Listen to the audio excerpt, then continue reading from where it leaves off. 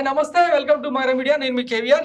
పల్లున చెట్టుకే రాళ్ళ దెబ్బలని ఒక సామెత అంటుంటారు కదా. ఇప్పటికే వైసీపీ ఓటమికి గల కారణాలు ఏంటన్నది విశ్లేషించుకునే పనిలో ఆ పార్టీ నిమగ్నం ఉంది. ఆ, రెడ్డి సామాజిక వర్గం ఆ పార్టీకి కంప్లీట్గా దూరం అయింది అలాగే పార్టీ క్యాడర్ ఎవరు కూడా ఎన్నికల్లో సహకరించలేదు. నమ్ముకున్న సామాజిక వర్గాలు ఏవి కూడా. వైసీపీ వెంట నడవలేదు అని చాలా రకాల పోస్ట్ మార్టం జరిగింది. ఇకపోతే వైఎస్ జగన్మోహన్ రెడ్డి కేవలం అంటే పదకొండు సీట్లకు పరిమితం కావడానికి కారణాలు ఎన్నో ఇప్పటికే చాలా సార్లు చర్చించినాం. అయితే ఆ ఓటమి నుంచి ఆ పార్టీ ఇంకా కోలుకోక ముందే షాక్ నుంచి తేరుకోక ముందే YCP social media in charge Sajjala Bhargava రెడ్డిని ఇటు టీడీపీతో సహా పలు ఎల్లో మీడియా ఛానల్స్ టార్గెట్ చేయడం ఇప్పుడు ఆసక్తికర పరిణామం అనమాట వాస్తవానికి వైసీపీ సోషల్ మీడియా ఆ సజ్జల భార్గవ రెడ్డి చేతికి రావడానికి ముందు కొంతమంది నిర్వహించారో. అప్పట్లో అది అంతంత మాత్రమే నడిచేదనమాట ఎప్పుడైతే సజ్జల భార్గవ్ దానికి ఇన్ఛార్జ్ ఇన్ఛార్జ్గా వ్యవహరించారో ఇన్ఛార్జ్గా వ్యవహరించడం మొదలు పెట్టారో అప్పటి నుంచే అటాకింగ్ మోడ్లోకి వచ్చి ఒక రకంగా అంటే జనసేన శతజ్ఞి టీం ని అలాగే TDP social media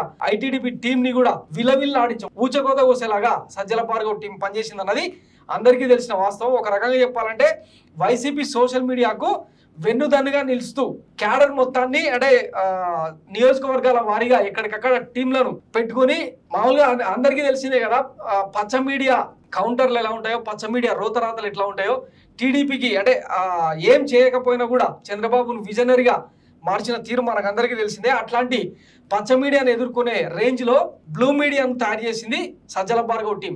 వాస్తవానికి అంటే జనరల్గా ఇప్పుడు ఈ ఆరోపణలను ఎందుకు వస్తున్నాయంటే ఆయనను వీక్ చేస్తే తప్ప తాము ముందుకు సాగలేమన్న కోణంలో ఇట్లా సోషల్ మీడియాలో పోస్టులు పెట్టే ప్రయత్నం చేస్తున్నారు అనమాట వైసీపీ సోషల్ మీడియాకు సజ్జల భార్గవ రెడ్డి దూరం. నాగార్జున యాదవ్కు బాధితులు వైసీపీ సోషల్ మీడియా వ్యవహారాల ఇన్ఛార్జ్ సజ్జల భార్గవ రెడ్డి దూరంగా ఉంటున్నట్లు ఆ పార్టీ వర్గాల్లో ప్రచారం జరుగుతోంది. ఆయన తండ్రి ప్రభుత్వ మాజీ సలహాదారు వైసీపీ ప్రధాన కార్యదర్శి సజ్జల రామకృష్ణారెడ్డి మాత్రం రోజు పార్టీ అధ్యక్షుడు వైఎస్ జగన్ వద్దకు వస్తున్న భార్గవ రెడ్డి మాత్రం దూరంగా ఉంటున్నారని పార్టీ నేతలు చెప్తున్నారు. దీంతో ఆ బాధ్యతను నాగార్జున యాదవ్కు జగన్ అప్పగించారని అంటున్నారు. ఎన్నికలకు ముందు ప్రతిపక్షాల నాయకులను మహిళలను కించపరిచేలా వైసీపీ సోషల్ మీడియాలో భార్గవ రెడ్డి పోస్టింగ్ పెట్టేవారు. దీనిపై ఫిర్యాదులు చేసేందుకు ప్రయత్నించిన అప్పట్లో పోలీసులు కేసు నమోదు చేయనే లేదు.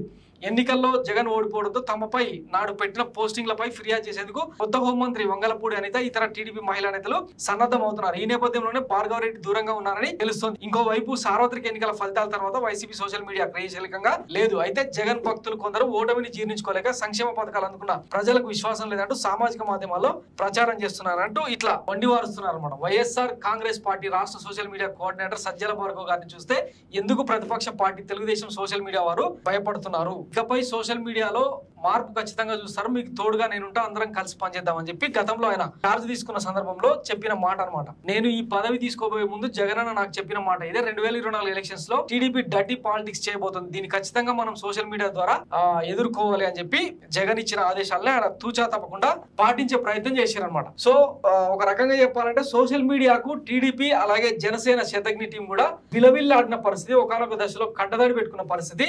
ఇట్లాంటి పరిస్థితులు వై సజ్జల భార్గవ రెడ్డిని టార్గెట్ చేస్తే తప్ప వైసీపీ సోషల్ మీడియాను వీక్ చేయడం అసాధ్యం అన్న కోణంలోనే ఆయన మీద దుష్ప్రచారం జరుగుతున్నది అన్నది సోషల్ మీడియాలో జరుగుతున్న ప్రచారం. అలాగే వైసీపీ సోషల్ మీడియా నుంచి కూడా అందుతున్న సమాచారం ఏంటంటే సజ్జల భార్గవ్ను ఇంకా తీసేయలేదు తీసేసే అవకాశం లేదు ఆయననే కొనసాగించే అవకాశం ఉంది. ఎందుకంటే గతంలో అంటే బ్లూ మీడియాను డెవలప్ చేసే క్రమంలో డిజిటల్ మీడియాలో అలాగే యూట్యూబర్స్ను అంటే న్యూట్రల్గా ఉన్న వాళ్ళని కూడా తీసుకొచ్చి కొంతమందిని విశ్లేషకులుగా పెట్టుకొని టీడీపీ దుర్మార్గాలను చంద్రబాబు గత పాలనలో చేసిన దుర్మార్గాలను విజయవంతంగా తిప్పికొట్టే ప్రయత్నం కూడా చేసింది భార్గవ్ టీం. సో ఈ నేపథ్యంలోనే ఆయన కౌంటర్ ఇయ్యలేకనే ఆయన వ్యక్తిత్వాన్ని హరణం చేసే ప్రయత్నం జరుగుతుంది. వాస్తవానికి అంటే ఒక వ్యక్తిని టార్గెట్ చేస్తున్నారంటే అతడు అత్యంత బలవంతుడైన అయి ఉండాలి లేదంటే అత్యంత బలహీనుడైన అయి ఉండాలి. అట్లా అయితేనే మోదుతా ఉంటారు అనమాట ఒకవేళ అతన్ని ఎదుర్కోలేకపోతే ఏం చేస్తారు? వ్యక్తిత్వ హరణం చేసే ప్రయత్నం చేస్తారు. గతంలో వైఎస్ జగన్మోహన్ రెడ్డిని ఆయన భార్యను కూడా అట్లనే కించపరిచిన విధానం మనం చూడలేదా? సో ఏదేమైనా సోషల్ మీడియాలో జరుగుతున్న ఈ పోరు రసవత్తర పోరు